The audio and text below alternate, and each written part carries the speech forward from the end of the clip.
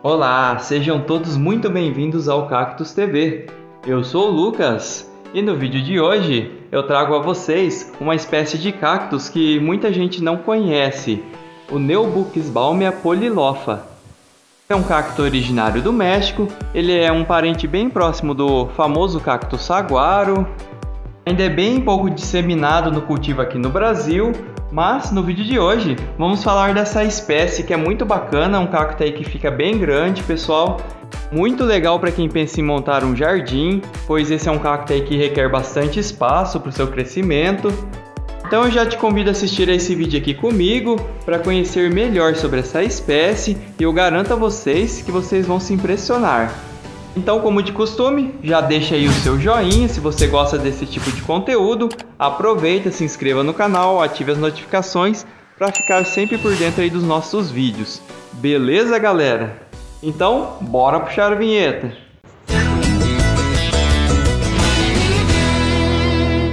Bom, pessoal, então vamos começar aqui o nosso vídeo de hoje. Primeiramente eu quero apresentar o meu cacto.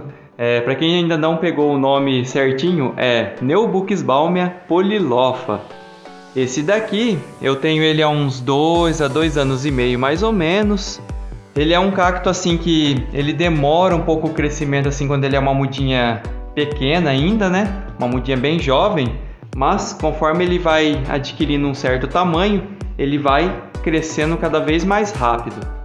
Esse daqui meu, por exemplo, quando eu comprei, ele devia ter uns 6, 7 centímetros, ele era bem pequeno, e hoje ele já deve estar aí com mais de 30. Olha só aqui como dá mais de um palmo. Falando ainda da sua nomenclatura, ele ainda pode ser identificado como Carnigia polylofa, daí o seu parentesco com, com o cacto saguaro, né, que é o Carnigia gigantea. Também pode receber os nomes científicos Cephalocerius polilofos, Cereus polilofos e Pilosocerius polilofos. Mas que coisa, hein? Só nomezinho fácil da gente pronunciar. Mas, felizmente, ele também tem alguns nomes populares, como cactocone, saguaro dourado ou cardon. Bem melhor, né? Como eu disse no começo do vídeo, esse é um cacto originário do México. A sua ocorrência é numa área bem pequena, apenas 6 km quadrados, e ele é encontrado em menos de 10 locais, em alguns estados mexicanos. Então é um cacto bem raro e disperso. O habitat é principalmente paredes de calcário em bordas de cânions, onde ele cresce majestosamente em meio à floresta caducifólia espinhosa deu para perceber, esse é um cacto colunar que fica bem alto, as suas hastes são bem grossas, formato cilíndrico. Normalmente ele cresce até uma altura de 7 a 12 metros, mas pode até ficar maior que isso. Às vezes cresce solitário, mas também pode se ramificar, formando alguns braços curvos, como de um formato de candelabro seja, aquele tipo cacto que a gente vê em desenhos animados ou em filmes hollywoodianos. Muito show, sempre quis ter desse cacto. Outra característica marcante nesse cacto é que ele possui as costelas bem estreitas, em torno de 10 a 30 costelas. Geralmente esse número vai aumentando conforme a planta vai crescendo. Como já mencionado, o seu caule ele é bem grosso, com nervuras profundas e pode chegar a ter um diâmetro de até 35 centímetros. Os espinhos são amarelados, finos, aciculares, apontados principalmente para baixo e são bem pequenos, em torno de 1 a 2 centímetros. À medida que envelhecem, vão ganhando uma tonalidade mais acinzentada e tendem a cair. Suas flores são diurnas, de coloração rosa, vermelho escuro ou magenta, apresentam bem próxima do topo do cacto. O ovário às vezes é tuberculado, com pequenas escamas e filamento vermelho. E modéstia à parte, ao meu ver, são flores muito lindas, realmente espetaculares. Vocês não concordam comigo?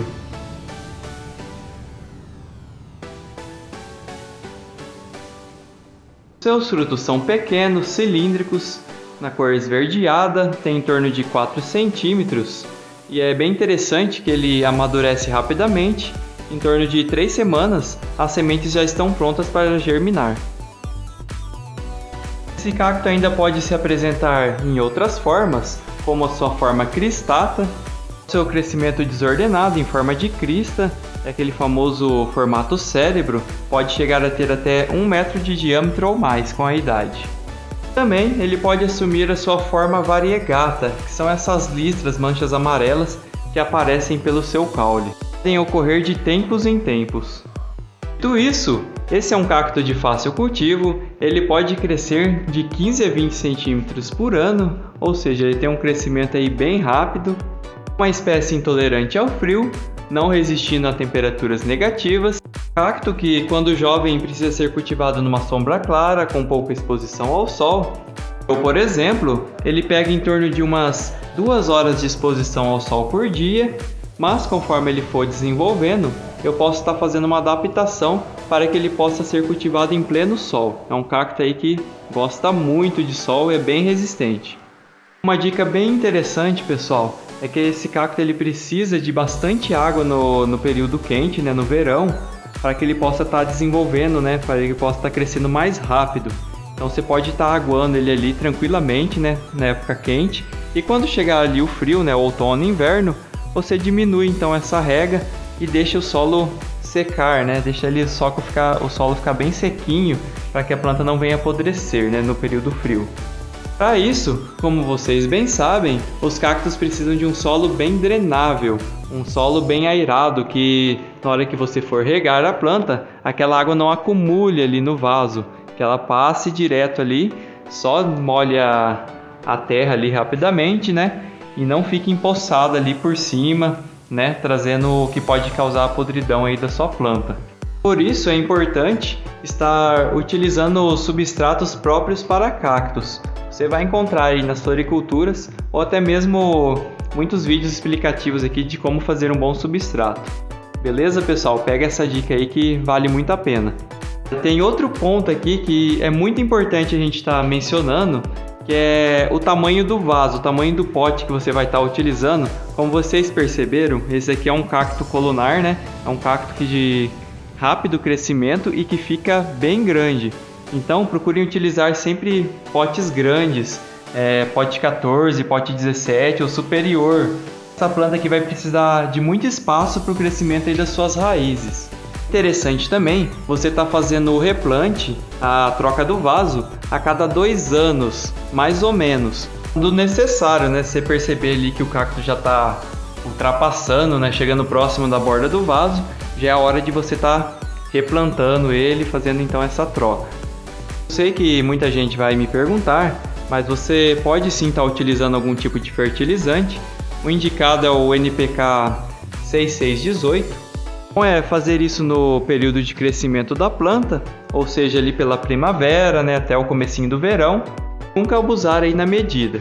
Por fim, a propagação é feita basicamente através de sementes, o que leva aí um bom tempo, né, até o crescimento da planta, ele florescer, dar os frutos e tudo mais ou também através do corte de estacas, que podem ser feitos na primavera, se você tiver aí coragem de fazer isso.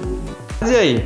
Deixa aí nos comentários o que, que vocês acharam do Neubuxbauma polilofa, o nosso saguaro dourado. Muito legal esse cacto, né, pessoal?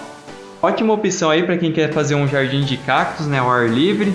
Tem aquele espaço bacana no quintal, tem uma chacrinha Certeza que esse cacto vai se destacar e vai trazer muita beleza aí pro seu jardim. Mas isso é tudo então, galera. Espero que vocês tenham gostado desse vídeo. Deixe aí seus comentários, compartilhe aí nas redes sociais para estar tá ajudando a divulgar o nosso trabalho.